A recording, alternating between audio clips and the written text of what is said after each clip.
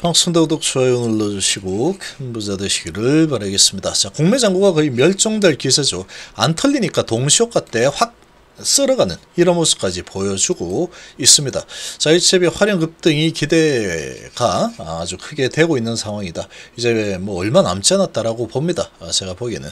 아주 지금 그야말로 폭풍전야의 흐름이 진행되고 있고 이 기온TV의 번호는 010-2218-8135입니다. 함께 하실 분들은 월 6만원이니까 가입하셔가지고 함께 하시면 어, 도움이 상당히 좀 많이 될 거다라고 어, 생각합니다. 지금 거의 한 달째 계속해서 수익이 크게 잘 나오고 있습니다.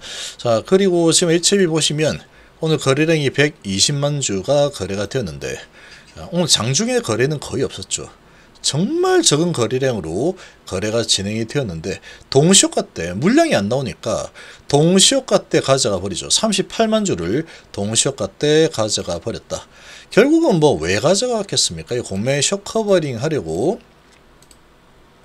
가져갔을 거다. 그냥 그렇게 믿으면 됩니다. 어, 뭐 그렇죠. 지금 상황이 그렇죠. 350만 주 수준에서 계속 줄어들다가 이제 270만 주 밑으로 내려갔습니다. 다시 여기 한번 내려갔다가 다시 슬금 올라왔다가 다시 내려갔죠. 그리고 지금 이 외인들의 매수하는 이 방향을 봤을 때 이 공매도 잔고는 계속 줄어들 가능성이 매우 높습니다. 매우 높다. 정말로 높은 상황이고 그러니까 지금 뭔가 상식적으로 생각을 한다면 단기적인 주가 흐름 이런 부분을 볼 때가 아니죠. 이 공매도들은 이거 뭐 묵은 공매는 거의 5년 넘게 예, 지금 여기 딱 달라붙어 있는 공매들도 있기 때문에 지금 공매들 입장에서 보면은 정말로 공포스러운 흐름이 이, 일어나고 있으면서도 아주 마지막 기회를 주고 있는 상황이다. 이렇게 느낄 겁니다. 아마 공매도 입장에서 보면은 그렇게 느낄 수밖에 없습니다. 지금 제가 봤을 때는 왜 그렇게밖에 볼수 없느냐? 지금 계속 말씀드리지만 남아 있는 거는 약에 대한 문제가 아니죠. 약에 대한 문제는 이미 손을 떠나서 FDA가 오케이 내 품에 안겨 내가 안아줄게 너는 합격이 합격 들어오면은 가남 시장은 네가 평정할 것 같아 데이터 너무 좋아 이렇게 지금 되어 있는 상태입니다. 이렇게 되어 있는 상태죠. FDA 피드백이 하나도 없습니다. 자 이제 남은 거는 아, 항서지아 캄넬리 주마이죠. 그것도 리보세라닙에 대한 장비 부분은 별다른 피드백이 없었습니다. 어 잘하면 이렇게 계속하면 돼. 이렇게 자 준비가 됐죠. 근데 에, 지금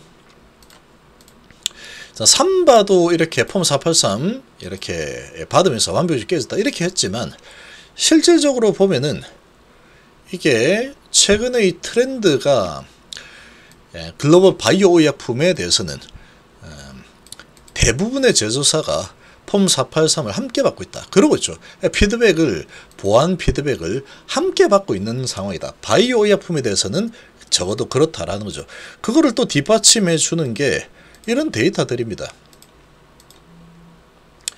어, 머크, 암젠, 화이자, 바이오젠 어, 노바티스, 어, 릴리, 예, 길리어드, 리제네론 등등도 다 마찬가지더라. 사노피 등등도 다 마찬가지더라.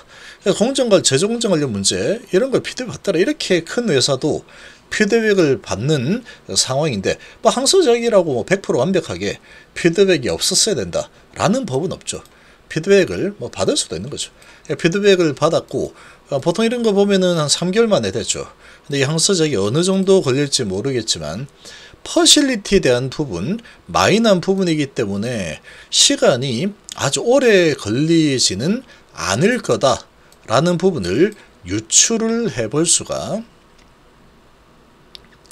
있겠죠. 어, 이런 부분을 유추해 볼 수 있는 상황이다. 자, 그리고 어, 이 공매도는 상당히 크게 예, 많이도 갚았죠 지금. 급락이 일어나고 나서 상당히 많이 갚았습니다. 자 그리고 HLB 체결 상환 보시면 계속 상한이죠.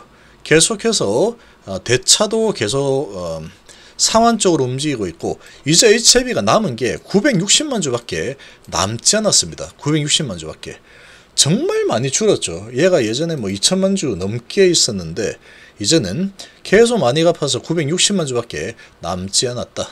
어, 지금 뭐 공매가 안, 안 되는 상황이긴 하지만 어쨌거나 최근에 계속해서 대차도 갚아 나가고 있습니다.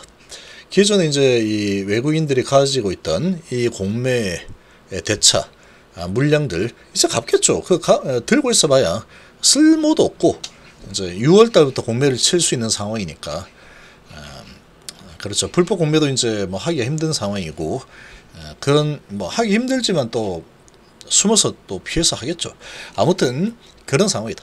이제 이런 관점에서 본다면 그리고 이제 외국인들은 계속 매집을 하고 있죠.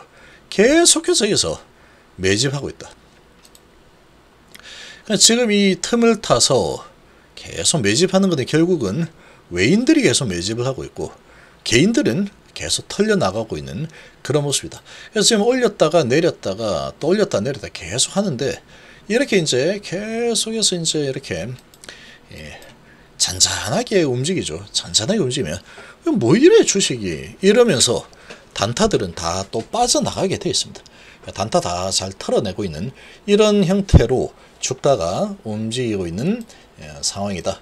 어, 그리고 공매 잔고를 계속해서 줄이고 있죠. 그래서 외국인들이 사서 이거 뭐 대부분 어, 많은 부분이 공매도 상환에 사용이 상당히 많이 되고 있습니다. 상당히 많이 사용이 되고 있는 상황이고 어, 그리고 HLB의 외국인 소진율이 21.2% 어, 지금 바뀐 게 없죠. 어, 주가가 여기 있을 때나 여기 있을 때나 외인 소진율이 별로 크게 변화가 없습니다. 오히려 이렇게 내리고 나서 외인들이 더 사고 있는 그런 모습을 보여주고 있다. 이렇게 보시면 되죠. 그래서 FTA 허가가 날 가능성은 그 어느 때보다 높은 상황이다. 외국인들이 그걸 모를 리가 없습니다. 모를 리가. 모르겠죠. 그러니까 조급한 아, 물량들은 다 털리게 되어 있습니다. 아, 털리게 되어 있는데 지금은 사실 털릴 이유도 없습니다. 이거는 털릴 이유도 없다. 이거는 뭐 항서적의 퍼실리티이기 때문에 이게 왜 털립니까 이게? 털릴 이유가 없죠. 그러니까 지금 여기는 인내심이 강한 자만이 크게 먹을 수 있는 그런 지금 상태로 주가가 흘러가고 있다. 이렇게 보시면 되고 HLB 계열사들은 다 똑같다라고 보시면 됩니다. 다 똑같다. 아, 조금씩 차이가 있지만 다 거기서 거기입니다. 다른 걸 볼 필요도 없습니다. 다 거기서 거기기 때문에. HB가 이제 올라가면 얘 혼자 내려가겠습니까? HB 올라가는데 얘 혼자서 밑으로 뭐 파고 가겠습니까? HB 올라가는데 얘가 파고 그러지 않겠, 않는다는 거죠. H 올라갈 때 이렇게 다 같이 올라갔죠. 다 비슷비슷합니다. 다, 다 비슷비슷하다. 자, 이렇게 예, 진행이 되었죠. 그러니까 이런 지금 상황이니까 지금은 그야말로 인내심을 극강으로 발휘를 할 때라고 어, 봐야 되겠죠. 그리고 아예 이 생각을 저 뒤로 가서 FDA 허가 나면 주가 올라가겠지 뭐 이렇게 여유로운 마음을 가지고 평정심을 잘 유지를 해야지 예, 이런 지루함을 버텨낼 수 있을 거다 이렇게 생각합니다. 이제 뭐 얼마 안 남았죠. 7일 딱 남았다. 그리고 이거 이제 예, 클래스 1이냐 2냐 이런 부분이 바로 나올지는 모르겠지만 어쨌거나 중요한 거는 캄넬주맙 제조 시설의 퍼실리티 문제 마이너한 부분 이 부분에 대해서 피드백을 받는다 라는 거죠. 중요한 거는 거기에서 벗어나지 않는다고 회사에서 분명히 그렇게 공지사항으로도 계속 알려주고 얘기를 해줬죠. 그러면 그 부분을 철석같이 믿고 가져가는 게 당하지 않는 아, 길이 될 거다. 결국 이걸 누가 이렇게 해먹어요? 이 외국인들, 공매들, 얘들이 이렇게 흔들어서 물량을 가지고 이제 수익을 극대화시키려고 어, 하겠죠. 뭐 이런 부분은 알테오젠도 다 마찬가지였습니다. 결국 이제 공매 세력들 외인들이 이렇게 컨트롤하죠 주로. 외인들이 이제 팔면 내려가는 거고 사면 올라가는 거고 이렇게 어, 진행이 되는데 HLB도 비슷하다. 그리고 삼천당 제약도 비슷하다. 이렇게 보시면 삼천당 제약 같은 경우에도 이 회사에서 이거 아니라고 뭐 여태 이제 루머 하나 뿌려가지고 이렇게 확 내렸었죠. 아니라고 뭐 하고 고소한다 막 이렇게 하는데도 뭐 필요 없습니다 이렇게 추세 깨가지고 돈으로 밀어붙여 버리니까 결국은 이제 개인들은 버티고 버티고 버티다가 어 너 버틴다고 한 버텨봐 그러면. 한 달. 잘 버티네. 두 달. 잘 버티네. 석 달 만에. 아유 나 못 버티겠다. 이렇게 될 수는 있는 거고. 두 달이 가다가 여기 쑥 내려와 버리니까 아이고 이게 아닌가 보다 하고 여기 털리네 이런 상황이 될 수 있겠죠. 그래서 이렇게 털고 가거나 아니면 그냥 가거나 아, 그둘 중에 나겠죠 HB 그러니까 지금 좀 크게 그림을 그려야 돼 가다가 뭔가 또 가짜 뉴스를 이 공매들이 얼마든지 또 만들어서 뭐 이렇더라 저렇더라 하면서 이제 갑자기 물량 확 뿌리면서 뭐 일난 것처럼 해서 이렇게 했다가 그러고 갈 수도 있겠죠. 아니면 이렇게 했다가 아, 이렇게 줬다가는 다 뺏기겠는데 오히려 그러면 이제 그냥 여기서 바로 갈 수도 있는 거. 음, 그런 상황이다. 이렇게 에, 생각합니다.